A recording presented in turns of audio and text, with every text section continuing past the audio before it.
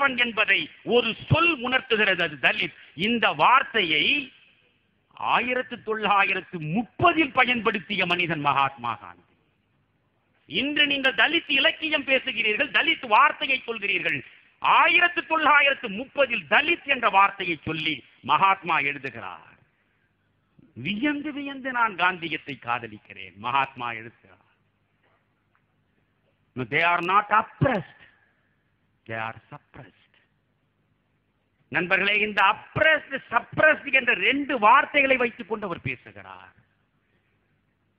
ஒடுங்குவது என்பது வேறு ஒடுக்கப்படுவது என்பது வேறு. அவர்கள் தாங்களாகவே ஒடுங்கியவர்கள் இல்லை ஒடுக்கப்பட்டவர்கள். எனவே ஒடுக்கப்பட்டவர்களுக்கு விடிவு வர வேண்டும். சாதி தீண்டாமை சாகிற போது சாதியும் சேர்ந்து செத்து போகுமானால் அதற்காக ஒரு துளி கண்ணீரும் விடமாட்டேன் என்று சொன்ன மனிதன் மகாத்மா அந்த காந்தியினுடைய அறவழி ஆயுதத்தை கையிலே இடுங்கள். அறம் சார்ந்து அரசியல் நடக்க வேண்டும் என்ற ஆசை உங்களுக்கு இருந்தால் இரண்டாயிரம் ஆண்டுகளுக்கு முன்னாலே நம்முடைய முன்னோர்கள் பாடிவிட்டு சென்ற புறநானூறு முதலில் எடுத்து தெளிவாக சொல்வது அறநெறி முதற்றே அரசின் கொற்றம்.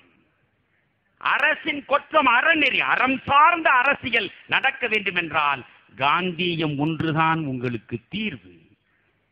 அந்த காந்தியத்தில் எந்த வகையிலும் மாறுபடாத. கம்யூனிஸ்டுகள் காந்தியவாதிகளாகவே என் பார்வையில் வாழுகிறார்கள். எனவே அவர்கள் வந்து இந்த காந்திய மேடையில் இருக்க வேண்டும் என்று நான் ஆசைப்பட்டேன். எளிமை சார்ந்தும் நேர்மை சார்ந்தும் தன் நீண்ட அரசியல் வாழ்வில் அடுத்தவன் குறை சொல்ல முடியாதபடி ஒரு கரைபடியாத வாழ்க்கையை வாழுகிற வைகோ வர வேண்டும் என்று நினைத்தேன். நண்பர்களே முடிக்கிறேன் நான். மூன்று பேரும் வந்து உட்கார வேண்டும் என்பது என் ஆசை. வரச் செய்தேன். பிறகு உங்கள் விருப்பம் அவர்கள் விருப்பம். நிறைவாக சொல்கிறேன் நான்கு பக்கங்களிலும் நாங்கள் குடம் வைத்திருக்கிறோம். பிச்சைக்காக எங்களுக்கல்ல. பலாமரத்தை முந்திரி காட்டை இழந்துவிட்டு பசியோடு குடிப்பதற்கு தண்ணீர் இல்லாமல் மின்சாரம் இல்லாமல் பத்து நாட்களுக்கு மேலாக பரிதவித்து கிடக்கக்கூடிய மக்களின் துயரம் உங்கள் கண் முன்னாலே தரிசனம் தந்தால் அந்த குடங்களை நிரப்பிவிட்டு செல்லுங்கள். அந்த குடங்களில் நிரம்பக்கூடிய பணத்தை கொண்டு போனால் குறைந்தது நூறு குடும்பங்களின் பசியாறினால் கூட நீங்கள் மாற்று அரசியலை கொண்டு வருகிறீர்களோ இல்லையோ? நீங்கள் காந்தியத்தின் பின்னாலே நடக்கிறீர்களோ இல்லையோ? நீங்கள் நல்ல தலைவனை முதல்வராக கொண்டு வந்து உட்காரச் செய்கிறீர்களோ இல்லையோ? குறைந்தது நூறு குடும்பங்களின் பசி தீர்ப்பதற்காவது இந்த கூட்டம் உதவட்டும் என்று சொல்லி விடைபெறுகிறேன். நன்றி வணக்கம். நன்றி. அன்பர்களே கடந்த ஒரு மணி நேரமாக நீண்டதோர் எழுச்சி உரை ஆற்றி இனி வரக்கூடிய காலகட்டங்களில் தமிழகத்தில் நடைபெற இருக்கக்கூடிய குருஷேத்திர போரில் சாரதியாக இருப்பதற்கு தயார் என்று தன்னை பிரகடனப்படுத்தி அமர்ந்திருக்கிறார் திரு தமிழறிவுமணியன் அவர்கள். அவர்களை அனைவரும் பலத்த கரவொலியோடு அவரது உரைக்கு நன்றி தெரிவிப்போம். அன்பர்களே இனி நாம் அனைவரும் ஆவலோடு எதிர்பார்க்கிறோம்.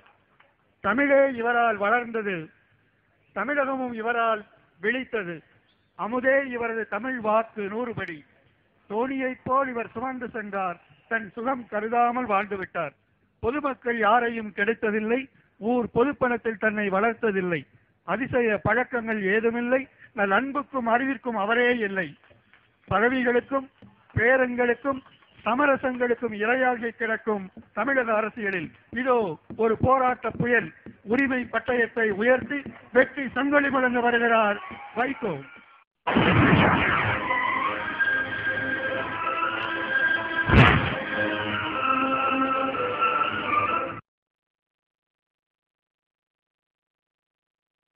பட்டவன் என்பதை ஒரு சொல் உணர்த்துகிறது அது தலித். இந்த வார்த்தையை ஆயிரத்து தொள்ளாயிரத்து முப்பதில் பயன்படுத்திய மனிதன் Mahatma Gandhi.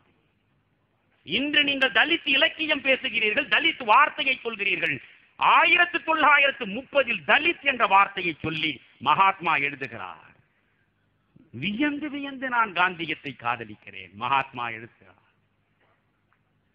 They are not oppressed they are suppressed நண்பர்களே இந்த அப்ரஸ்ட் சப்ரஸ்ட் என்ற ரெண்டு